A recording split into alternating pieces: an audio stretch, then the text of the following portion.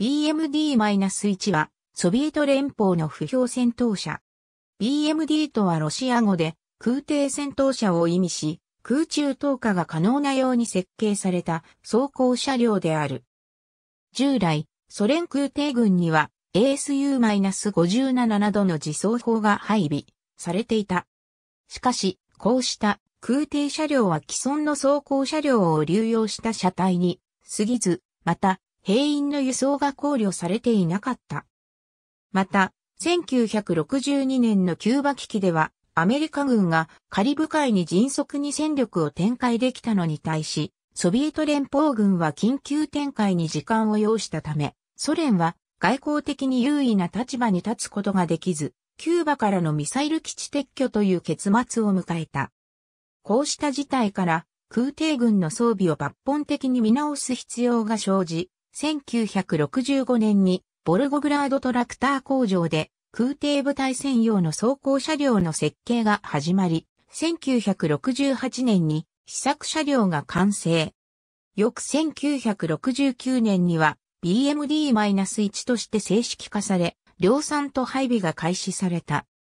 BMD-1 の設計は同時期に開発された BMP-1 とほぼ同一で BMP-1 を小型化、軽量化して輸送機への搭載と空中投下を可能としている。車体は軽量化のためにアルミ合金製になっている。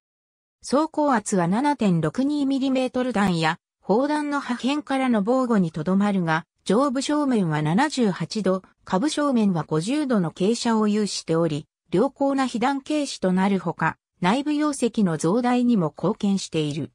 水上走行が可能で、正面に設置されている波序盤は、地上走行時に増加走行となる。操縦席は、車体全部にあり、ここに操縦手が座る。操縦席にはペリスコープが3機装備され、操縦手は前方60度の視界を有する。操縦手の左側に社長が座る。社長席には外部監視用に単眼式ペリスコープ測距儀 1PN22M1 が設置されている。夜間はアクティブ式夜間暗視装置を利用すれば400メートルから900メートルの指定を得られるが、車長席の位置が中途半端で、砲塔が四角になって全周視界を有しないという欠点がある。操縦士と社長の乗り下車には個別のハッチを用いる。操縦室の後方には戦闘室があり、BMP-1 と同型の一名用砲塔がある。手法は SPG-9 無反動砲と同型の 73mm 低圧滑降砲 2A28 であり、BMP-1 と同様、安定装置はついていない。砲塔の旋回、方針の上下は電気装置で行うが、手動操作も可能である。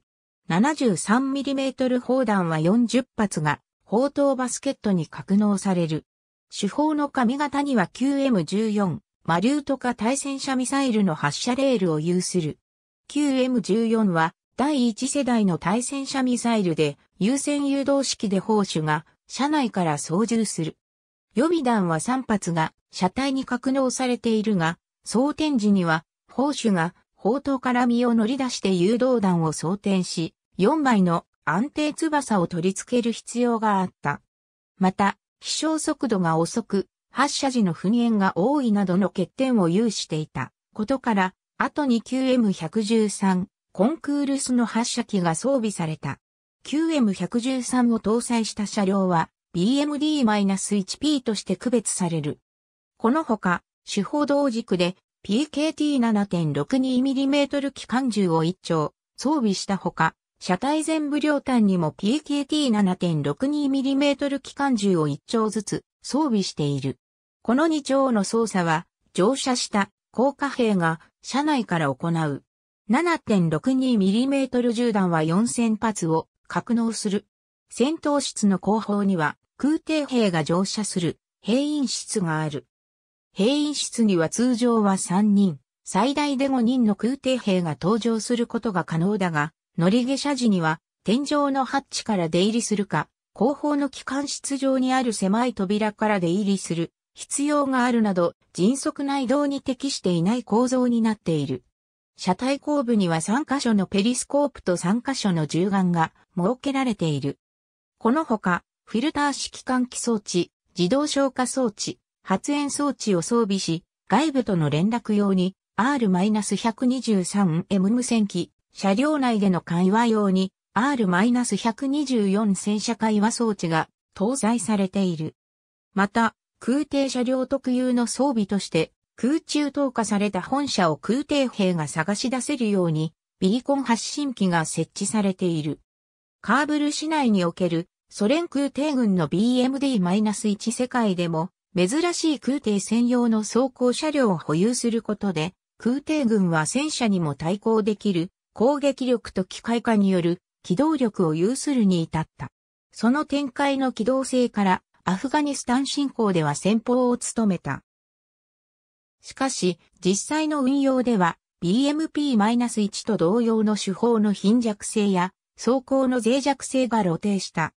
さらに、あまりに窮屈な車内は長時間の乗車には適さず、部隊によっては BMP-1 や BTR-60、BTR-70 に乗り換えるほどであった。こうした戦訓をもとに、1986年には改良型の BMD-2 が採用されている。